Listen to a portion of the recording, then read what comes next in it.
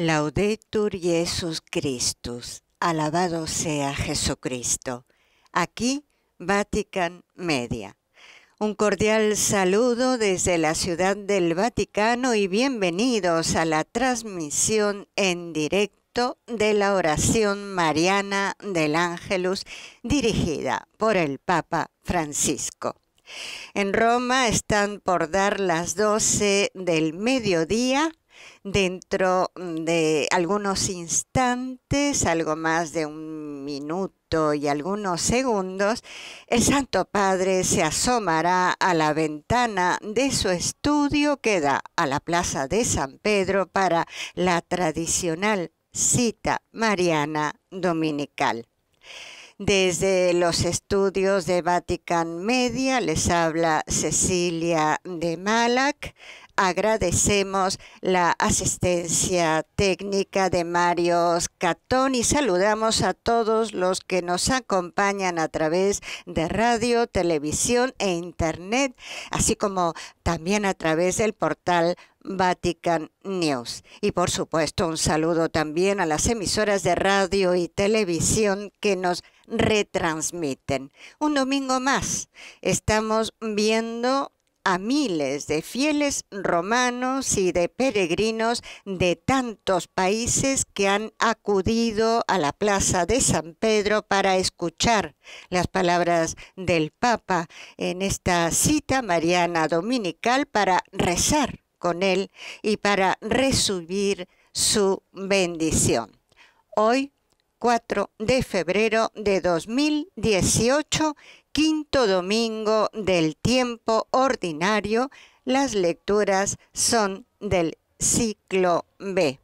Faltan de verdad pocos instantes. Estamos viendo que en estos momentos se abre la cortina, el Santo Padre se asoma a la ventana y saluda a los numerosísimos fieles que lo reciben con aplausos, una ovación de cariño y mucha alegría. Cari fratelli e sorelle, buongiorno.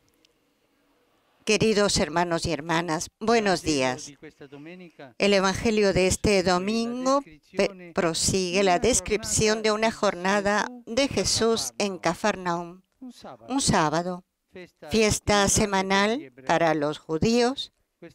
Esta vez el evangelista Marcos destaca la relación entre la actividad taumatúrgica de Jesús e y el despertar de la fe en las personas que encuentra.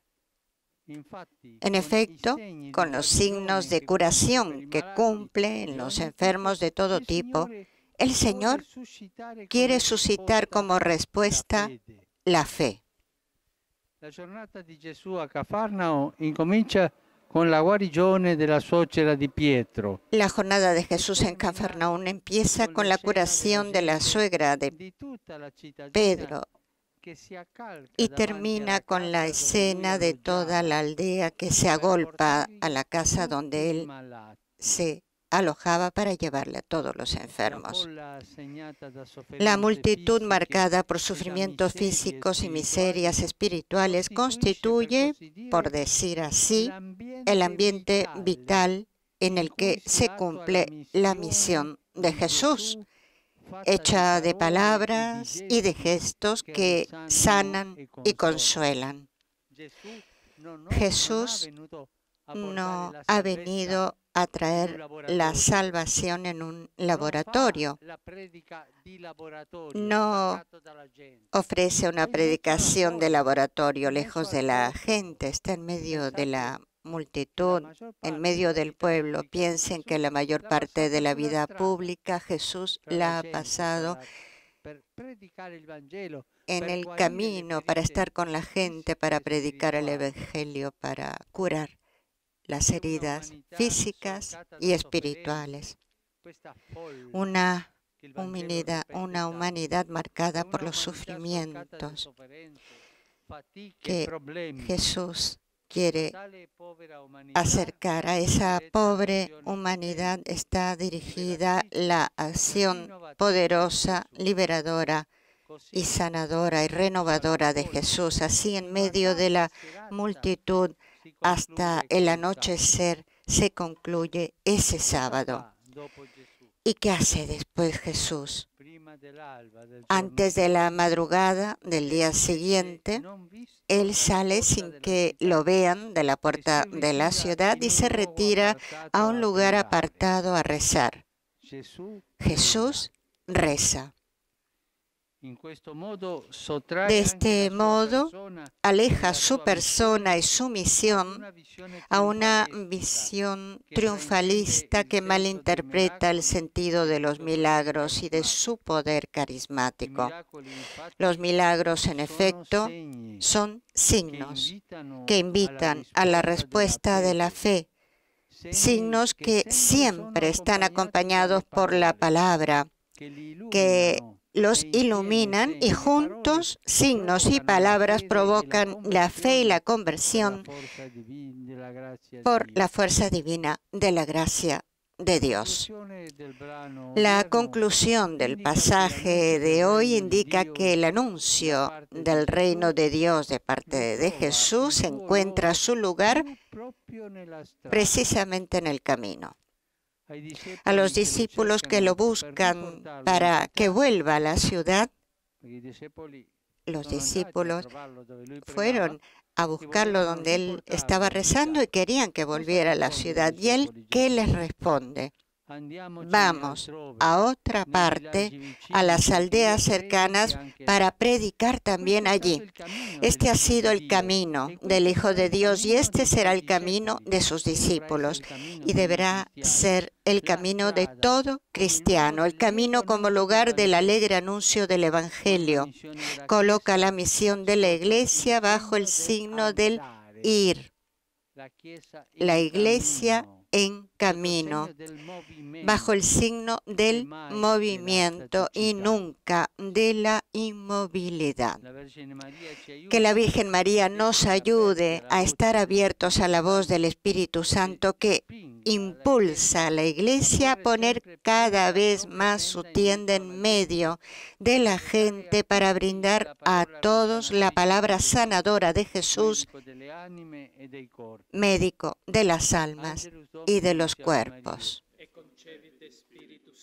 Ave María, gracia plena, Dominus tecum, benedicta tu in mulieribus, et benedictus fructus ventris tui, Iesus. Santa Maria, Mater Dei, ora pro nobis peccatoribus, nunc et in hora mortis nostre. Amen. Ecce ancilla Domini. Fiat mi secundum verbum tuum.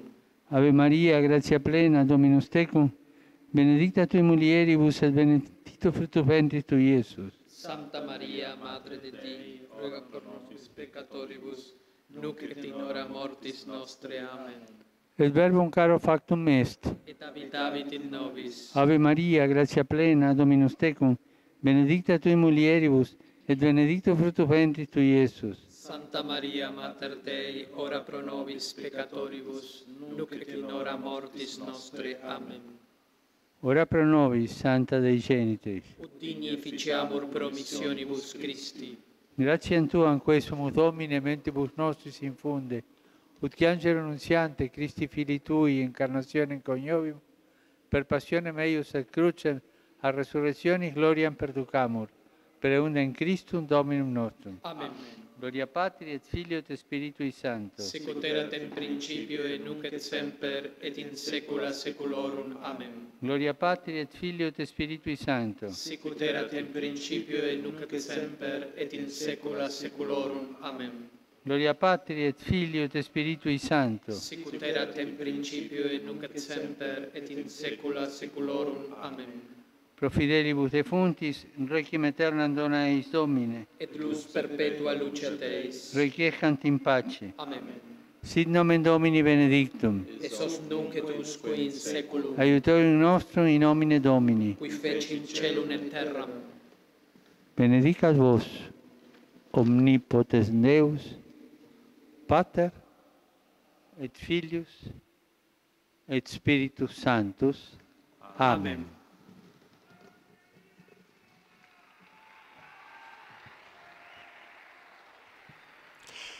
El Santo Padre acaba de dar su bendición, escuchamos y vemos a las numerosísimas personas que esperan ahora sus palabras. Queridos hermanos y hermanas, ayer en Villevano ha sido proclamado beato el joven Teresio Olivelli, asesinado por su fe cristiana en 1945 en el campo nazi de Hellsbruck. Él ha dado testimonio de Cristo en el amor hacia los más débiles y se une a la larga multitud de mártires del siglo pasado. Su heroico sacrificio sea semilla de esperanza y de fraternidad, sobre todo para los jóvenes. Hoy se celebra en Italia la Jornada por la Vida, que tiene como tema el Evangelio de la vida, alegría para el mundo. Me uno al mensaje de los obispos y expreso mi aprecio y aliento a las diversas realidades eclesiales que en tantos modos promueven y sostienen la vida. En particular, el movimiento por la vida, a cuyos numerosos exponentes, no tan numerosos aquí presentes, y los saludo. Y esto me preocupa. No son tantos los que luchan por la vida